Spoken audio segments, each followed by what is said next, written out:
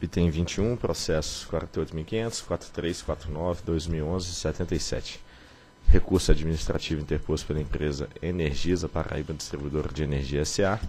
em face da decisão da diretoria colegiada da Agência de Regulação do Estado da Paraíba, que manteve a penalidade de multa aplicada pelo auto de infração número 01-101-05-2009, em decorrência da falta de seguranças das instalações da concessionária ter causado acidentes nos municípios de Mulungu, Pilõezinhos e Itaporanga. Diretor relator, doutor Edvaldo Santana.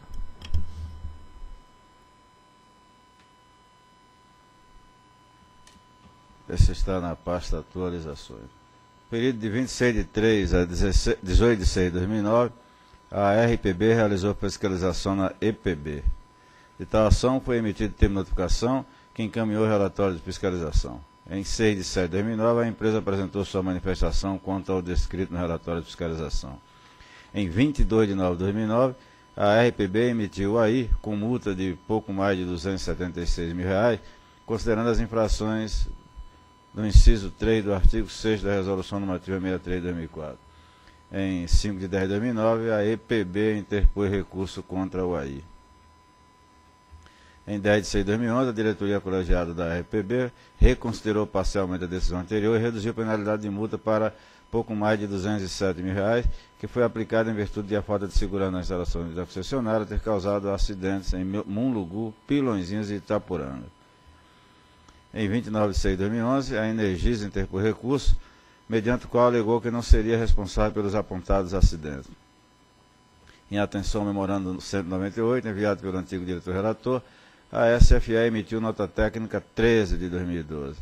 Em 24 de 1, o processo foi inscrito na pauta da segunda reunião pública da diretoria, mas em seguida retirado, pois o relator de então declarou-se sob suspeição.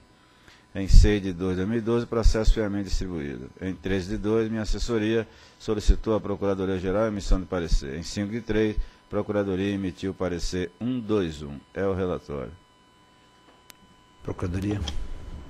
Reitero o teu do parecer 121 de 2012 e opino pelo desprovimento do recurso da Energisa Paraíba, mantendo-se o auto de infração lavrado pela RPB e pela revisão de ofício para enquadrar em conjunto os fatos apurados nas desconformidades N1, 2 e 3 e, consequentemente, o reajuste, o recálculo do valor da multa adequando-se à dosimetria ao enquadramento conjunto das infrações citadas. Embora a EPB tenha interposto seu recurso sem que tenha sido intimada via carta registrada da decisão da diretoria colegiada da RPB, mas sim via Diário Oficial do Estado da Paraíba, seu comparecimento espontâneo aos autos deflagra ao contrário do prazo recursal. Isso para explicar que o recurso é tempestivo, mas não precisa entrar nos demais detalhes, ou seja, o recurso foi considerado tempestivo. Vamos ao mérito. Com relação à alegação de nulidade do AI, em virtude de não ter sido dada a oportunidade de a EPB apresentar suas alegações finais, com violação ao seu direito à ampla defesa, a diretoria já afirmou o entendimento de que tendo sido a concessionária devidamente intimada com relação ao de infração e respeitados os prazos para manifestação da interessada, o princípio da ampla defesa foi observado.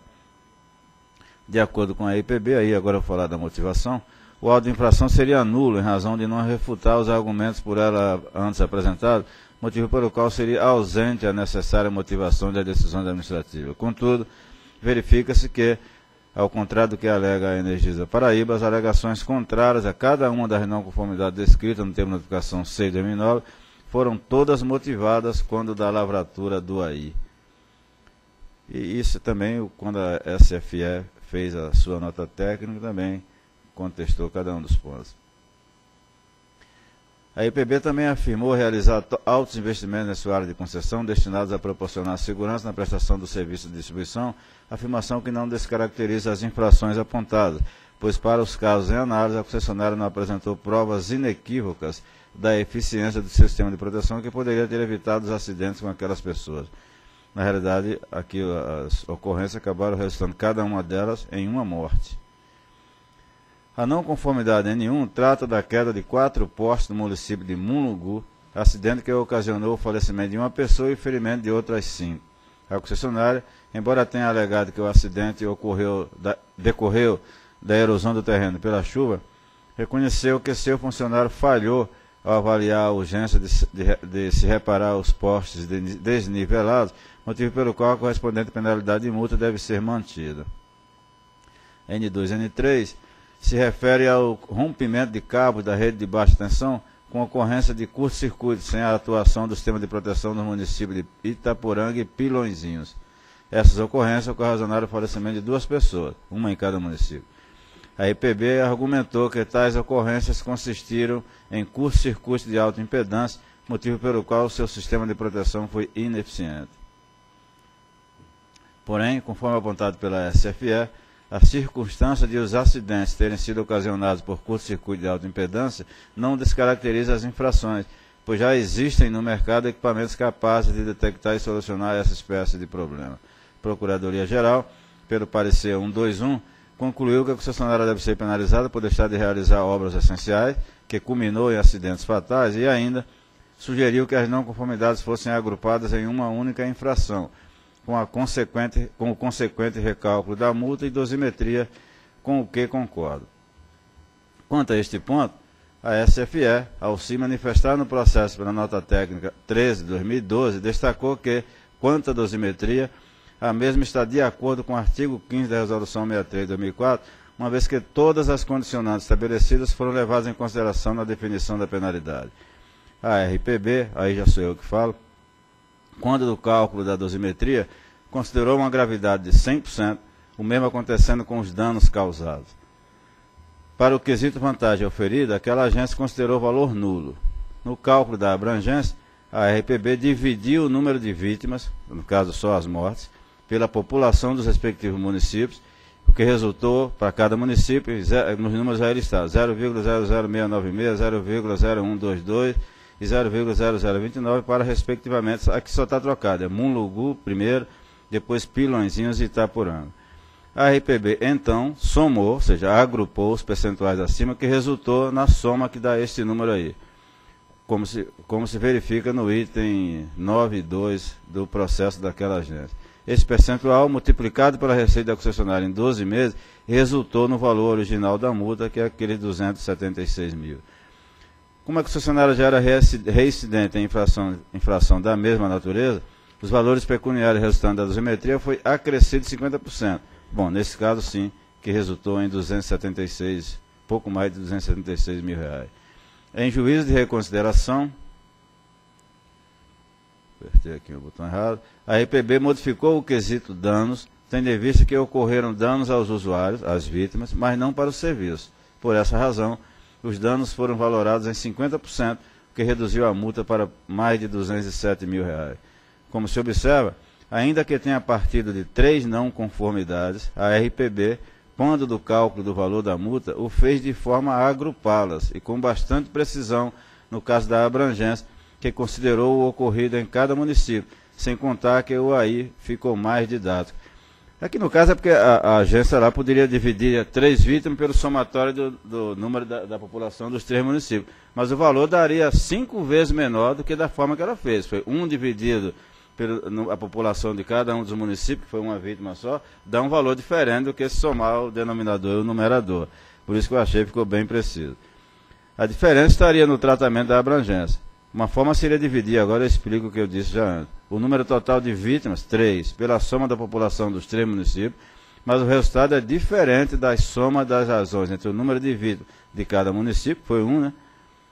E as suas, suas respectivas, falta essa, população. Porque foi o caminho escolhido pela RPB que considero mais preciso. Por isso, embora eu lá atrás tenha concordado com a Procuradoria, do ponto de vista prático, não há o que ser alterado no AI ou no cálculo da multa. Foi calcula, calcula, aliás, a RPB está de parabéns nesse caso, porque fica fácil entender como foi calculado. Embora o que confunde um pouco é que ela apresenta três quadros, como se para cada um caso daquele estivesse aplicando uma multa. Mas é só para explicar como fez as contas. Isso talvez tenha confundido a Procuradoria, mas é, enquadrou em um dispositivo só e somou os diversos percentuais e multiplicou pela receita total ao contrário daqueles casos de hoje de manhã da, da Coelba que eu acompanhei. Aqui eu acompanho também a Procuradoria, mas estou dizendo que o cara já fez tal como a Procuradoria queria. Destaco, porém, a percepção de que a multa parece baixa, sobretudo quando se consideram as, consideram as consequências das três não conformidades. Mas a multa calculada reflete o que consta da Resolução 63 de 2004. Por isso, sugiro que a norma seja modificada em processo em curso de forma muito simples Sempre que a não conformidade resultar em vítimas fatais, a infração passa a ser automaticamente tipificada no grupo 4. Seja lá qual for a não conformidade, pula para o grupo 4 se for eh, vítima fatal. Isso para discutir, aqui é apenas uma sugestão. Porque eu de fato achei a multa baixa, mas não tem como aumentar, porque o valor encontrado foi, foram aqueles mesmo. Diante do exposto, a não ser que, por exemplo, mantivesse o danos como 100%, era a única alternativa, porque a, a, a empresa não oferiu qualquer resultado com, com a, as vítimas. Diante do exposto do que consta do processo 48.500.0043.49.2011.77, voto por conhecer e no mérito negar provimento ao recurso interposto pela Energisa Paraíba, no sentido de manter a penalidade de multa aplicada por meio do AI, emitido pela RPB, no valor, bom, é que eu acho que tem que multar, porque essa multa já é aquela modificada no juiz de reconsideração. Valor esse que deverá ser atualizado nos termos da legislação vigente. É o voto. Que em discussão. Confesso que eu estou meio rebelde hoje, eu, quando eu fico lembrando aqui aquela multa de como é que é 5 milhões para um PD. E a gente fica fazendo a conta aqui de 3 milhões, né? De PD. E aqui a gente mata 5 pessoas aqui, dá uma multa de 200 mil. 3 pessoas, mata 3 pessoas, uma multa de 200 mil reais. E fica fazendo essas contas aqui. Espero que não tenha muita gente prestando atenção nessa reunião. Que aí faz uma contazinha, divide para a população da, do município, então faz a continha, dá 0,00, se a gente matar 6 pessoas, 10, 100 pessoas, aí dava 0,6% da, da receita da empresa, que podia fazer a continha aí. Eu, eu fico assustado com isso. Né? Primeiro que eu acho que esse é um acidente que não pode ocorrer.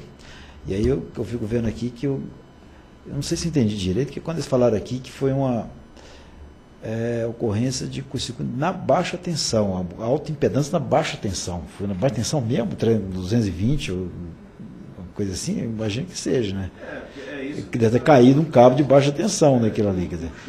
Esse eu não conheço, eu não conheço esses casos, porque isso aí acontece muito, inclusive na rede de alta tensão, que é muito mais grave. Essa que mata mesmo, porque 13 mil volts, e normalmente se dá longe da subestação e não consegue sensibilizar um relé numa subestação.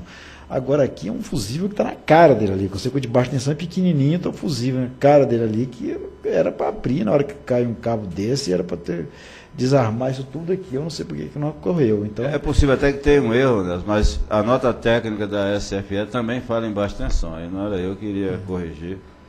Mas é possível que ele tenha acompanhado o erro. Não tem como avaliar isso tudo, fez um monte de coisa lá dentro, estão julgando um recurso da, da da agência lá, mas eu acho que pelo menos acho que caberia acho que uma ação da nossa fiscalização, até recomendar alguma mudança, é isso que você mesmo colocou aí. No caso desse, é grupo 4 direto, e acho que tem que ser uma coisa mais grave, que sabe, uma penalidade pesada, porque lembro que é, passei na NELC 2000 e 2000, acho que foi 2000, 2001 por aí, a gente estava com a intervenção na na Coelce, basicamente em função de acidentes fatais com, com terceirizado e com população, que estava uma coisa extremamente grave, que gerou um processo de quase foi uma intervenção, digamos assim, mais branca, que, que não, a gente não assumiu a empresa, mas foi uma, um acompanhamento forte nas ações da empresa de, de acabar com esse tipo, porque isso não pode acontecer. Isso aqui, analisando, parece que a gente aceita isso, tá bom,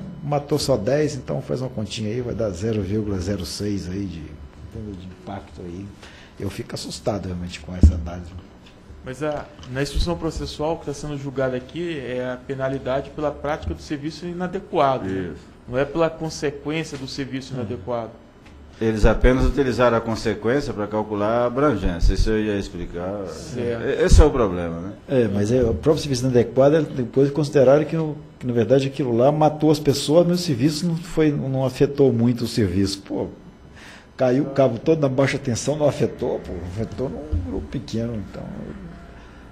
Mas aí também a gente não tem argumento aqui para mudar nada disso, tem que ser. Mas eu acho que caberia a gente fazer uma pedir uma reflexão das áreas de fiscalização e tudo, até para refletir isso aí, mudar alguma coisa até em termos da 63, que já está em andamento aí, para contemplar alguns aspectos mais graves desse, né? Ok? Tem votação? Voto com o relator. Também voto com o relator. Também voto com o relator. E fica a sugestão aí para as áreas técnicas debruçarem sobre o problema aí. Então, gente decidiu por conhecer, no meio de negar, para meus recursos interpostos pela Energisa Paraíba, é, no sentido de manter a penalidade de multa aplicada no meio da infração aí, descrito, emitido pela Agência Reguladora da Paraíba, R$ 207.191,92.